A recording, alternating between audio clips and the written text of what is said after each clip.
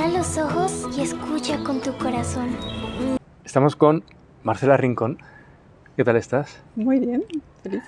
Marcela Rincón, de, igual lo digo mal, eh, Fosfenos Media, Fosfenos. fundadora y directora. Ujú, ¿Nos puedes contar un poquito en qué consiste Fosfenos Media? Claro. Pues Fosfenos es una productora audiovisual que tenemos en Cali, Colombia, hace más casi 20 años. Tenemos esta productora, venimos haciendo proyectos especialmente eh, como dirigidos al público infantil, es lo que más hacemos. Eh, tenemos como varias producciones, bueno, como nuestras producciones emblemáticas tal vez son dos. Eh, una, una serie animada que se llama Guillermina y Candelario, es una serie que hacemos en coproducción con Señal Colombia y tal vez la serie que, que ha tenido más trayectoria en Colombia, llevamos seis temporadas, más de dos, 12 años en, en la pantalla nacional, entonces muy chévere, muy bonita, hacemos digamos como que nos gusta en Fosfenos hacer mucha como producción que hable mucho como de los aspectos culturales de Colombia y de, digamos, de nuestros entornos, historias muy propias, entonces eso es como muy, habla del, del Pacífico colombiano, como de, de este territorio, de estos personajes. Y luego hicimos el libro de Lila, que fue nuestro primer largometraje. Fue como la primera película que también se hizo animada, que se hizo en Cali, en todo el suroccidente colombiano. Fue toda una aventura, una odisea, un reto enorme hacer una peli animada ahí. Y, bueno, y, ya estamos en nuestro segundo, trabajando en nuestro, el desarrollo de nuestro segundo largometraje animado.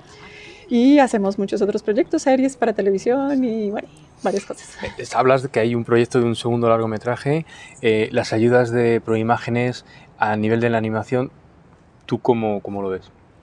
Pues está, digamos que, a ver, está bien en el sentido en que tenemos ayudas para, para desarrollo y para producción, ¿sí?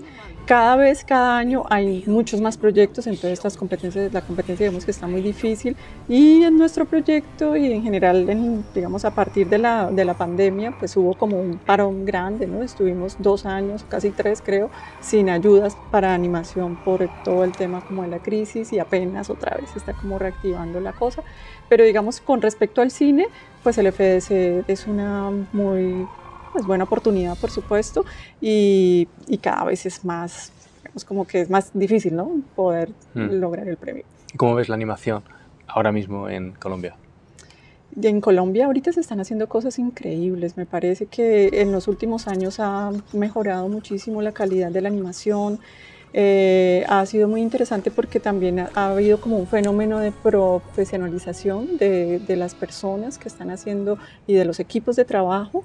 Y como que, claro, eso se ve reflejado en las producciones.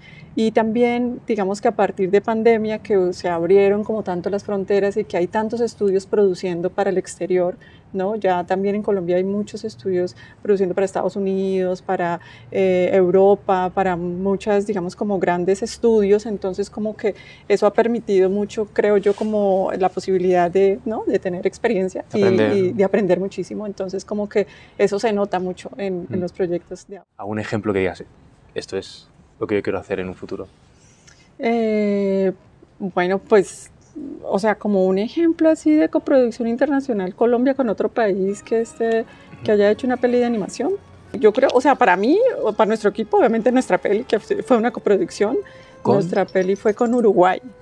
Con Uruguay, con el equipo de Alfredo Sodergui, no sé si lo tienes presente, Anina, que es una peli muy hermosa que hicieron allá. Ellos fueron, y bueno, el equipo de Alfredo, que fue el director, con su equipo eh, fue el que hizo, digamos, como parte del desarrollo visual de nuestra peli. Y no, pues eso para nosotros fue increíble. Y para los otros, digamos que la otra forma, sé que también hicieron una coproducción con Brasil, pero entiendo que mm. llegaron muy al final, ¿no? Mm. Entonces, como mm. que no fue así como tal vez tanto el impacto de la, del coproductor sobre el resultado final.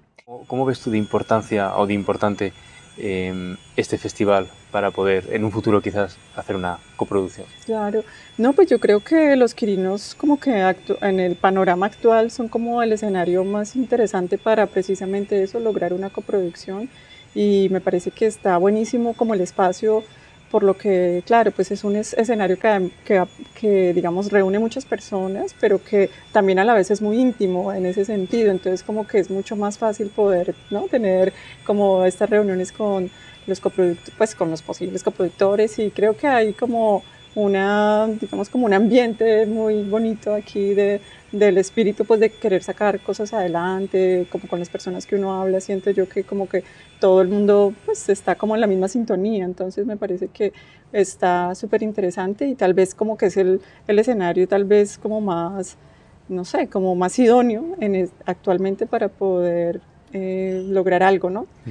Igual no conozco a nadie que diga, bueno, logré esto en los, en los Quirino, ¿no? Pero digamos, es un poco la sensación. Pues yo en esta oportunidad soy jurado.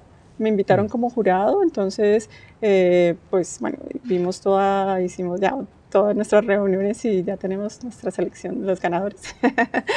eh, pero claro, igualmente pues voy a aprovechar que estoy aquí para estar ah, haciendo eh, mañana y pasado como las reuniones con posibles coproductores con el proyecto que te cuento de nuestro segundo largometraje. Porque tú no es la primera vez que vienes, ¿no? Yo vine en la primera edición de Los Quirino, estuve con la película hace siete años. Siete, siete años. Hace siete años con el libro de Lila, nuestra peli, porque estuvimos, tuvimos tres nominaciones en su momento y vine pues como participando. Y bueno, ya en esta, en esta oportunidad me invitaron a ser jurado.